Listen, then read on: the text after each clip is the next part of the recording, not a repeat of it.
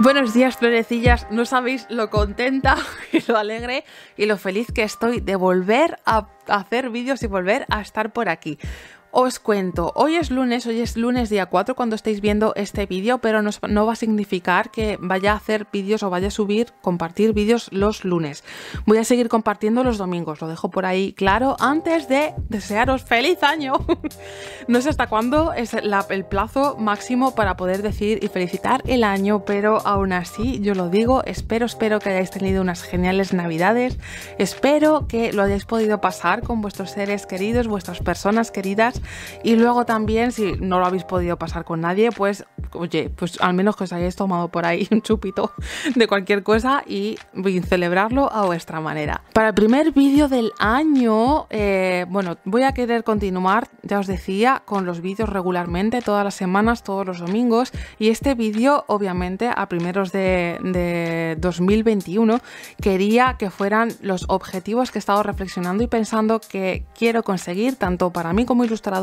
a nivel dibujo como para mí como ilustradora a nivel mi tienda online. Si por ahí tenéis algún objetivo que sea similar o también tenéis tienda o sois ilustradoras o ilustradores y tenéis otro tipo de objetivos, pues por ahí también me lo podéis dejar por comentarios, así los veo y oye, siempre podemos aprender los unos y las unas de los otros. Ya no me quiero enrollar más, que ya me estoy yendo por las ramas y voy a empezar como con la primera categoría y es, a ver, esto es una triste historia. Voy a empezar por una feliz historia y después una triste historia.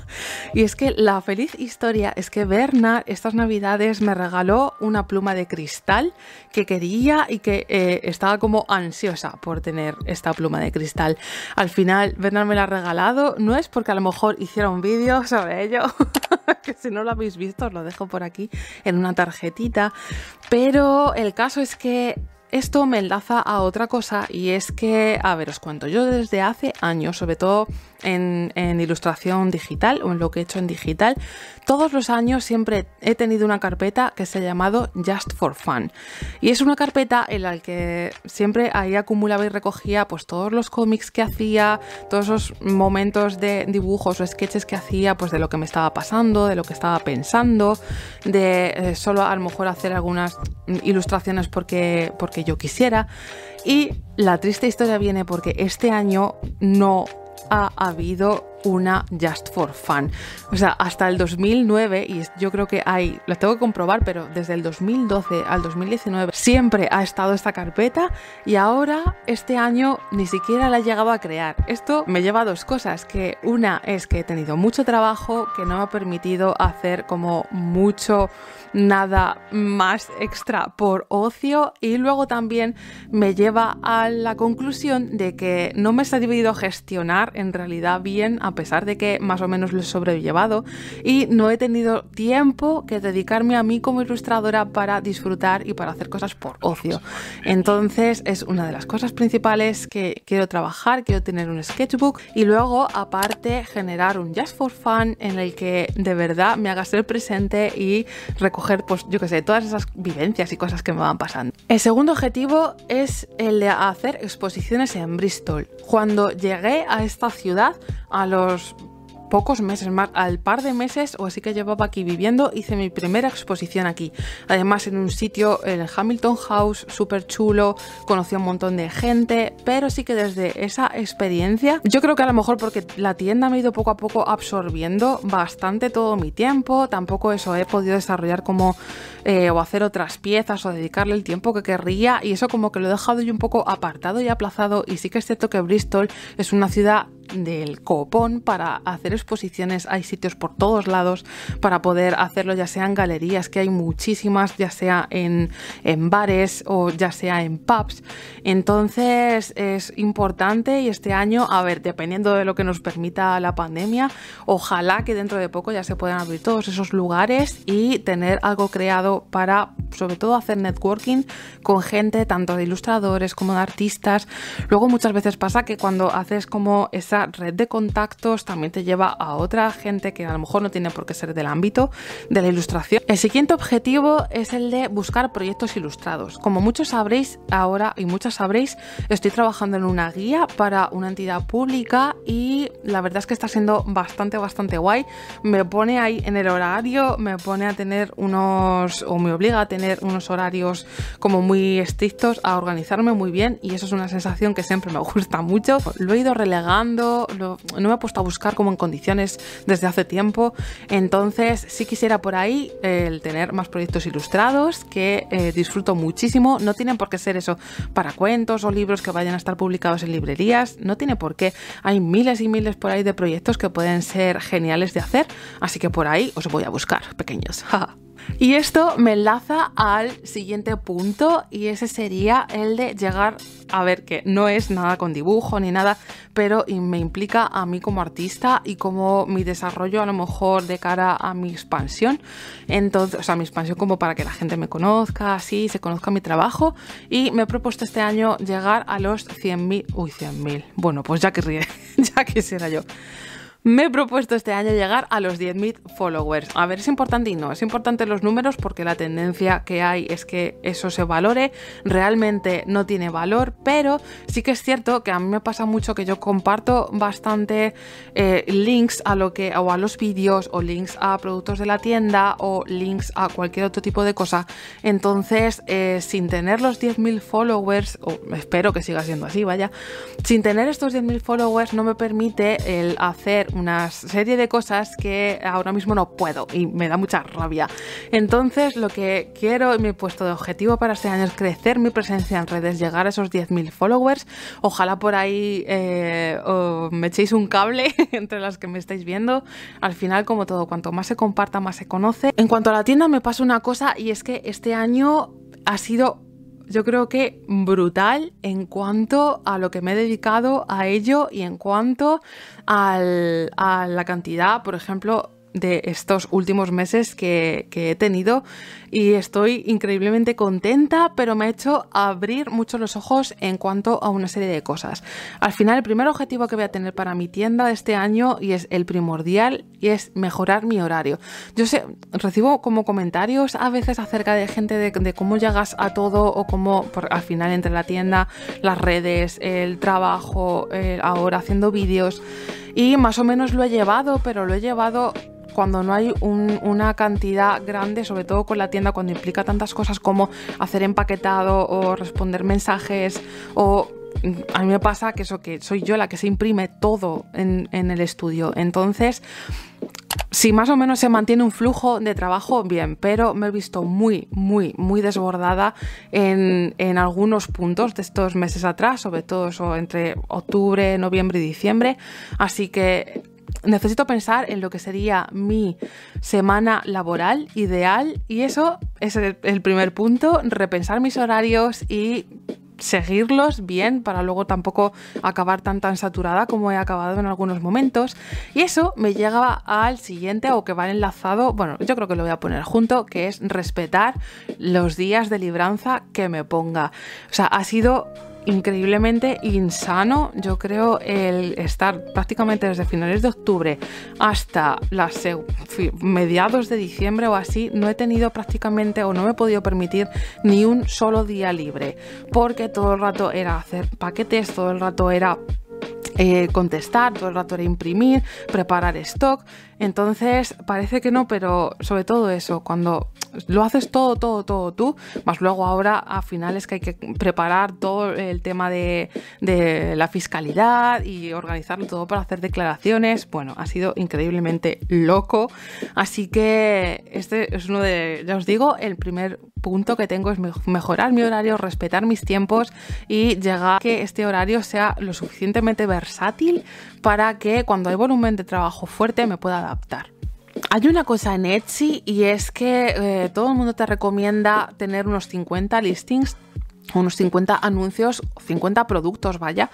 en tu tienda subidos para que la plataforma empiece a visibilizarte un poco más. Eso es lo que me planteé a primeros de este año, alcanzar los 50 listings al menos, y al final he cerrado el 2020 como con casi 80.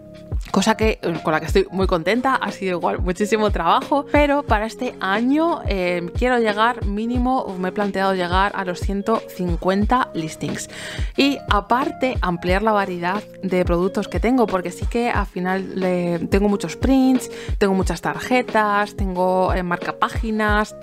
Ahora lo último que hice con los disquitos de madera, fue genial hacerlos, pero sí que tengo pensado hacer otras muchas cosas más que ya os iré contando. Entonces, otro de los puntos principales o de los objetivos que quiero conseguir es ampliar muchísimo más la variedad de mi tienda y ampliar muchísimo más los productos que, que vender, vaya. Este es otro punto de los que me enlazan así como con el siguiente, que es el de eh, las cuentas y la contabilidad. El año pasado, al final, después de haber llevado durante tiempo, como todas mis cuentas yo, con Excel, eh, escaneando todos los tickets, manteniéndolo todo, y eso sí que hay que hacerlo, manteniendo, mantenerlo todo guardadito en carpetas, al final decidí a crearme una cuenta en una de estas aplicaciones web que van linkeadas a tu cuenta bancaria, que van linkeadas, por ejemplo, en mi caso, a Etsy, esto significa que todos los ingresos y todos los gastos que tengas van a estar reunidos en esta aplicación, con lo que aparte te permite pues, eh, generar facturas, te permite eh, guardar todos los tickets, o sea, le haces una foto con la aplicación, con la extensión del móvil